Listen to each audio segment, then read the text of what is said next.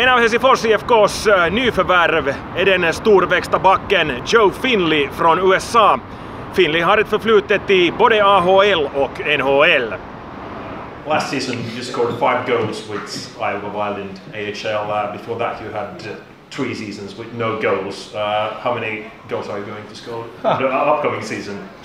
Well, my job is to get the puck on net and uh, let our forwards uh, let, let our forwards put some rebounds in. But uh, yeah, I definitely I was jumping in the play a little bit more last year and, and shooting the puck and even got one shorthanded, I think. So. Um, you know, for, for myself, um, the offense will come. Uh, it's it's again, we got to continue to get more comfortable and just really worry about taking care of my own end first. So um, as long as I do that, we'll we'll see where things go.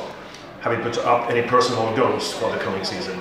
You know what? For me, I think uh, team goals are more important than individual goals. Um, I've always been a team-oriented guy, and uh, my def- look no further. My defensive partner Miro, I think that uh, some of the conversations we've had early on, I think those have been uh, a big success so far. We're we're getting to you know learn a little bit more about each other. He's a young kid.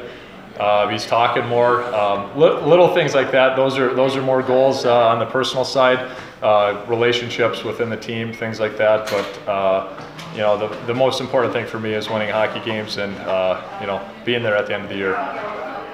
So your time here in Helsinki, have you had any time to enjoy the city? Yeah, we've had a, a couple of time opportunities. We had a, a team uh, summer get together and. Um, other than that, uh, you guys have taken me around town a little bit, been down by the water and, and seen some things. So, uh, uh, you know, we had the, the fan event at the beach volleyball, and um, so I haven't been just pent up in my in my apartment the whole time. But it's been uh, it's been good. It's the weather's been uh, a little bit nicer lately, and uh, getting ready for winter already. So.